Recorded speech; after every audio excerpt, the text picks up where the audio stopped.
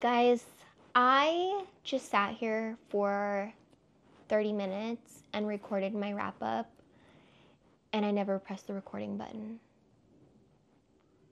So, welcome. Hello, everyone. My name is Rose, and this is Flower Reads a Lot.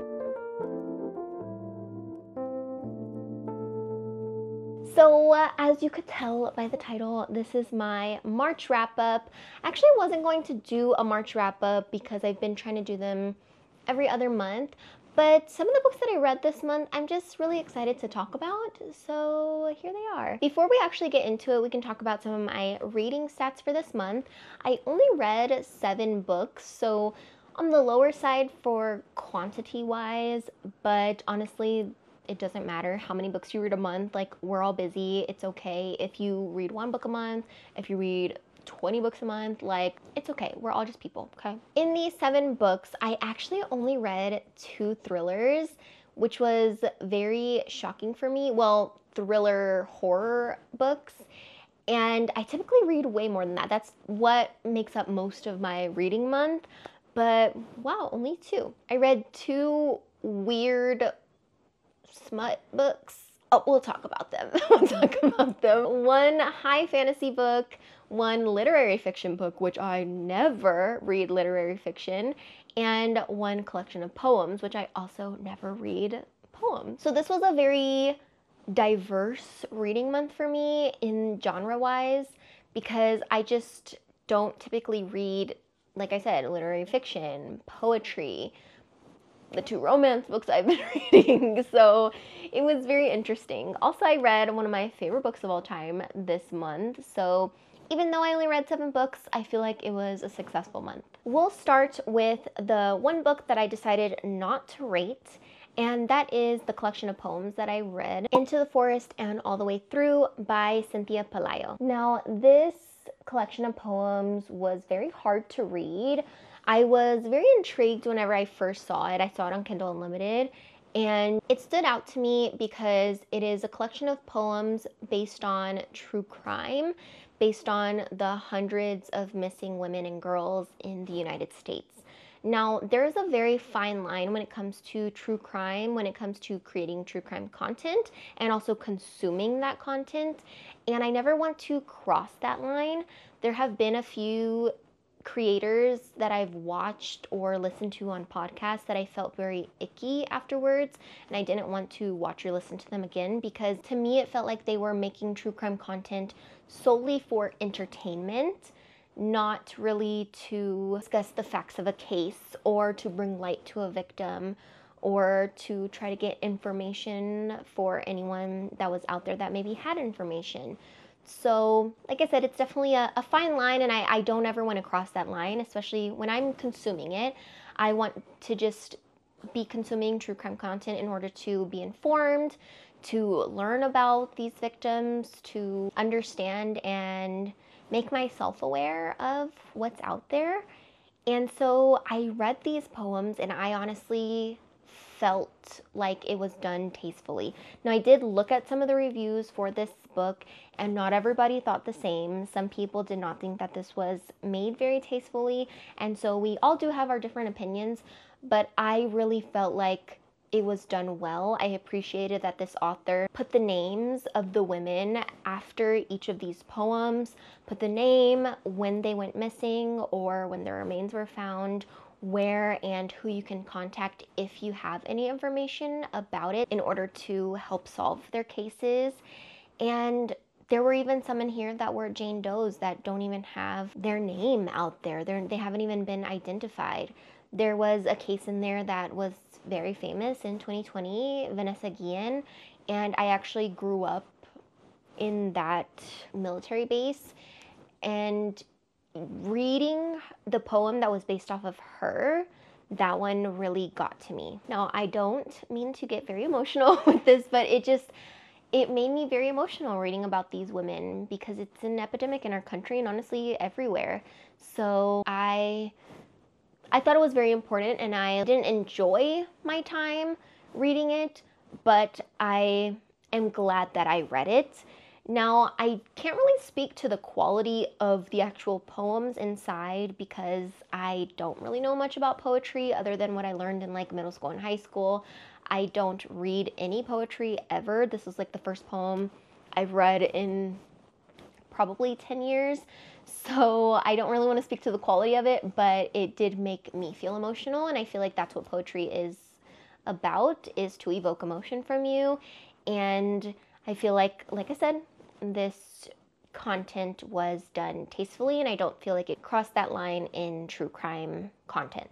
But I did not feel comfortable rating this book because it was based off of actual women and girls that were missing or murdered.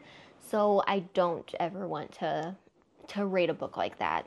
Now, on a lighter note, I did not read any one or two stars this month. Everything is three stars or higher. And we'll start with my craziest three star because why would I rate this three stars? You would expect me to rate this like one or two stars, but no, alas, I didn't. This is Don Juan Velociraptor by Lola Faust. You heard that right. You're seeing that right with your eyes. This is a uh, dinosaur erotica novel. so if you're like, Rose, how could you possibly give this book three stars? Listen, I'm gonna read to you my review, okay? One star for the absolute gall to write such a story, one star for trying to have a tinge of a plot, and one star for not subjecting me to descriptions of any sort of Dino D. Now, this book was extremely short. It was like 60 pages, maybe even less than that. This followed a journalist who was going to interview this infamous dinosaur, Don Juan, and oh my gosh. So, this dinosaur, and he's not a shifter, no, he's a dinosaur, he's a velociraptor. He has the mind of a man because he was created in a science lab, okay? And ever since he was created, he has brought out the desire in women and seduces literally every woman that he meets. And they're just enthralled by him. They're overrun with desire, like they cannot resist him. So this girl, she's like, Well, I'm gonna resist him. I'm not like other women. Okay, girl. Okay. And there's actually this little like side plot slash main plot going on in the book that I was like, okay, she was trying. She fit a lot into the 60 page book. Like, come on. This is not for everyone, but if you want to experience what I experienced, then um read it. My next three star is a little disappointing that it's only three stars, but I still enjoyed my time with it. It was Goddess of Filth by V. Castro. This book follows these group of girls that are getting together to do a seance, and one of the friends starts acting a little crazy after the seance. I'm talking speaking a different language that she didn't even know before, bleeding out of different places. Like, it's a little crazy. And it follows the events after that. This book was honestly so good. I love the story. I love the friendship in this book. The there were themes of like religion in this book as well.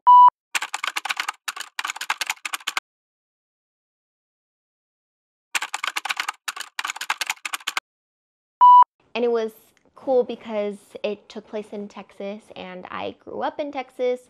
So I don't know. I just, I really love this book. I could relate to some of the things that were happening in this book. However, the reason why it's a three star for me is because I wanted more. This book was very short and I feel like it could have been longer. I didn't feel satisfied with the ending of this story and I just, I feel like it just needed more. I don't know how it could have done more, but I just needed it. So, yeah. These next three books are all of my four star books. We will start with the craziest four star that I have, and it is Stay in My Swamp by GM Fairy. Yes, you're seeing that correctly as well. this is the second book to Get in My Swamp, and it is literally just Shrek 2, but make it X rated. It's literally Shrek 2. Why am I still reading these? They're just so entertaining. I can't stop no, this was not a five star, even though it was just as crazy as the first book. this just didn't have the shock factor anymore. I'm just not shocked at this point of the things that are happening. Like, sure, there's a sex club in here. Sure, GM Fairy is gonna be in the book. Sure, this is gonna happen. Like, of course. So, if you like weird smut books, read it. This next four star was an unexpected read for me. I actually was in LA one weekend in March and I went to a Barnes & Noble there because I needed like a very short read. My I didn't have my iPad with me to just read something on there. So I decided to buy a short little book. And I saw this and I was like, oh, this looks interesting. It is called Signs Preceding the End of the World by Yuri Herrera. This is translated work from Spanish and it is, like I said, literary fiction. It is about this girl who is going to cross the border from Mexico into the United States in order to find her brother. And it's just the things that happen in this book, you really feel for this girl. The way that this book is written is very unique as well. There are no quotations in this book for dialogue. It's just written in a way that I can't really explain. You have to experience it, but it's not like any other book that I've ever read. Like I said, it is very short, but I feel like it has just so many discussions in it that I can't even articulate all of the things that happen in this book. I really enjoyed it though. I was never bored a time in this book. I feel like it evoked emotion out of me. It was really good. My last four star is The Good Daughter by Karin Slaughter. She did it again. She did it again. This book was so good. I can't. It was so good.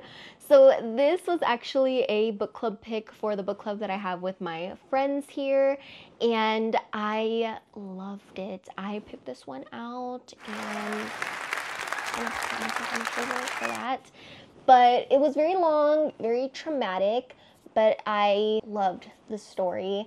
I don't think I could just give it a five because it didn't give me a five feeling, but there's nothing in this book that I would change. So this book opens up with these two sisters experiencing a terrible tragedy that just ruins their family, honestly. And then it flashes forward to current day where one of the sisters is a lawyer and then she experiences another tragedy and witnesses it and it kind of just tackles a story of sisters, a story of family, the justice system in this town. It is so good, but it is so traumatic as Karin Slaughter's writing is. If you have any triggers, you need to read the trigger warnings for this book because it has a lot in there and they're very descriptive. You feel like you are experiencing what the characters are experiencing. You feel like you are there with them. Now, I've seen a lot of people say like they didn't care for the ending or they didn't really feel satisfied with it or it wasn't like a huge plot twist or whatever. But I still enjoyed it. I don't think I would change what happened. I don't think it needed some crazy big reveal because the story was so good. Now, my last and final book was actually the first book that I read this March, and it was for the podcast. It is Blood Over Brighthaven by M.L. Wong. This book is so good. I love this book. This is probably one of my new favorite books ever. It is a high fantasy. It opens up with Thomil and his family, and it opens up with a bang, okay? His family is trying to flee from this blight that is literally unraveling people and seeking refuge in this city that is unaffected by this blight. And oh, I won't tell you what happens there, but it happens in the first chapter. And then in the very next chapter, we meet Sciona, who is actually on her way to go take the test to become the very first woman high mage. Now, this is important because in this place, in this government, in the city, a woman can only test to become a high mage every 10 years. So you're already seeing a theme of misogyny and sexism here. So that's one of the themes it tackles. We've got xenophobia, we've got religion, we have a corrupt government. Like it just has everything. It has everything in this book. And this book is so infuriating. It is so heartwarming, heart wrenching. It's just it's so good it's so good. I love it so much like i can't praise it enough. I just feel like M.L. Wong's writing is just so good. Her storytelling is so good. I love it. And this is a standalone so you don't have to wait to see for the uh, next book in the series. No this has a complete beginning and a complete ending and the beginning and the ending the parallels between them so poetic so beautiful so tragic. Like, I love it. Thank you guys for watching my short little wrap up of March. Please let me know down below what you guys read this March. Let me know if you have a new favorite like I do, or maybe you didn't have the best reading month. Let me know your TBR too for the next month. So uh, yeah, like this video, subscribe if you haven't, and I will hopefully see you next time. Okay, love ya. Bye.